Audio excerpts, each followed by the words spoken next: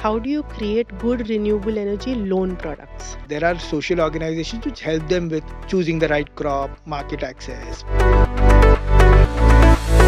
So, a lot of the innovation over the years, more than the technology side, has actually happened on the financing side. It's not so easy that you go and put up a plant and next day they start doing something different. It has to be looked at differently. The needs are different, the technologies, the practices are different everywhere we will explain to the villagers that you need to pay tariff to contribute towards this. That's where the entire community led model came about. You're offering me this solar powered sewing machine or this solar powered uh, roti rolling machine. How do I own it?